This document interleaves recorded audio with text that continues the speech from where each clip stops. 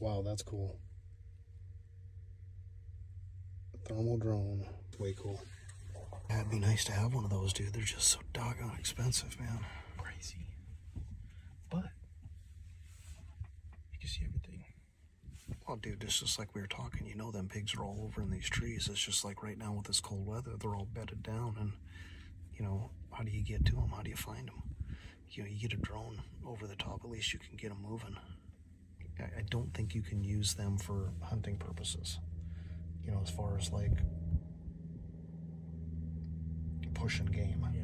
So I don't know. I'd have to check all the legalities with it, but it would be cool. Super cool to have a thermal drone. That might be next on the list, man.